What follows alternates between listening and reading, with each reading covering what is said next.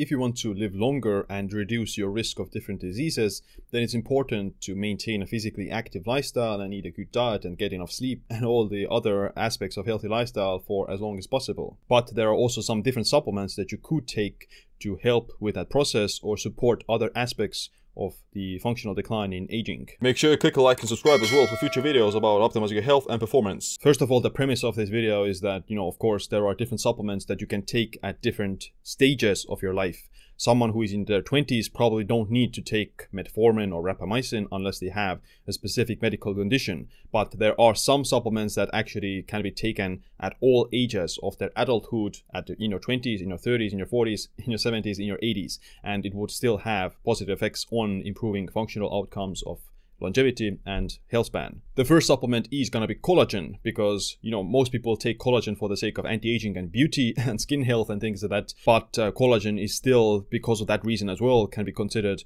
one of the best longevity supplements. Collagen is important for maintaining joint health, reducing symptoms of osteoarthritis, knee pain, and also improving skin health, skin hydration, and reducing the sign of visible wrinkles. Now, the reason why you want to take collagen at all ages is that, you know, your collagen degradation starts already in your 20s. Starting at the age of 20, you start to lose your collagen in your skin about 1% per year. So that's why it's important to start taking collagen and increasing your collagen intake already in your 20s. Women have slightly less collagen probably because they have less total skin protein because they're somewhat smaller than men, but uh, both genders do lose their collagen and both genders will benefit from increasing their collagen intake. Even if you're not interested in wrinkles or skin aging, then uh, taking collagen for the sake of your joints is obviously uh, paramount and like one of the most important things for longevity because if you're immobile, then your risk of diabetes and and obesity skyrockets. And there are multiple studies showing how collagen supplementation, collagen peptide supplementation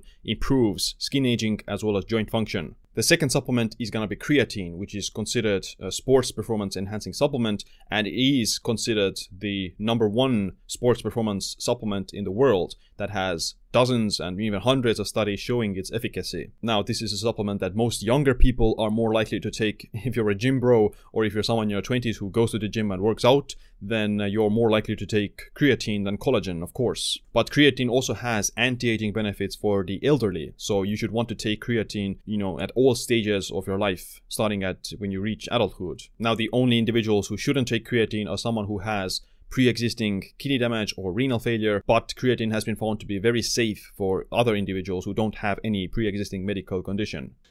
Number three is going to be glycine, which is an amino acid that supports collagen synthesis, but it also supports creatine synthesis, it supports heme synthesis, it supports glutathione synthesis, and it supports bile acid synthesis as well. I don't know, like it's some of, like in my opinion, one of the most well-rounded and the best kind of longevity supplements that you can take. You can check out my other videos about this, but the main idea is that, yeah, glycine improves your glutathione levels, which is more important for the elderly who have low glutathione levels. But in your youth, glycine can still be very beneficial for things like joint health, skin health, as well as lowering blood sugar, improving sleep, and improving like GABA synthesis or like making you more relaxed. So glycine is just, yeah, something that you can just take pretty much uh, at all stages of your life. From a longevity side, then it has been found that glycine has potential longevity benefits by mimicking methionine restriction and increasing autophagy. Number four is going to be glucosamine, which is another like supplement that is considered for older people who have joint pain or arthritis, etc which is true. It has been found that glucosamine supplementation does improve those symptoms and it can improve joint function. But your cartilage already starts to be wearing down in your 20s already, especially if you're not getting enough collagen. So adding some glucosamine, in my opinion, is just something that has no downside. It has no real downside. Glucosamine has no real like negative side effects. It's an anti-inflammatory compound. It actually boosts autophagy and it helps with the symptoms of knee pain, etc. And it also supports the synthesis of cartilage. So instead of playing catch up once you get arthritis, it's much more important to have a preventive approach. Start supporting your cartilage and collagen synthesis well before you get any symptoms. So that's the kind of smarter way of going about it. Plus, glucosamine use has also been seen to be associated with reduced cardiovascular disease mortality and overall mortality. Of course, those studies are done on older people, but they do control for things like body mass index and other health outcomes to make sure that it's specifically the glucosamine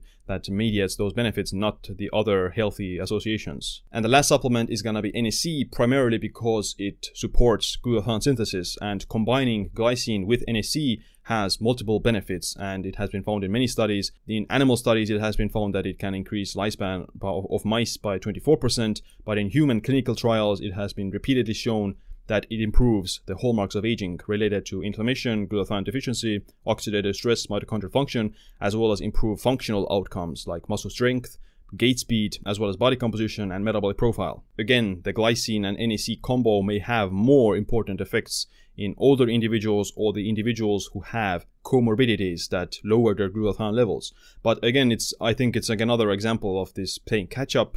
You don't necessarily want to play catch up, and uh, it's worthwhile to do support your glutathione levels and uh, make sure that you do follow like obviously a healthy lifestyle but if you can add like a few compounds that do improve functional outcomes as well in glutathione deficient people then i see no downside the only issue with NAC is that you shouldn't take it after resistance training or around high intensity exercise because it has been shown to blunt some of the inflammatory positive response to training as well as reduce power output. And on top of that, NAC can also cause some histamine reactions to histamine sensitive people because NAC reduces uh, histamine breakdown. So you have to be careful with that. So these are the top five supplements, one of my favorite supplements that I take regularly pretty much every day. And I do think that those are the supplements that I will keep taking pretty much for the rest of my life. But do you want to slow down aging and live longer? If yes, then I'm looking for more people who want to reverse their biological clock. If you're interested, then email me the word health to info at and I'll send you the details. But other than that, thanks for watching this video. Make sure to click a like, subscribe, notification bell as well. My name is Siim. Stay optimized, stay empowered.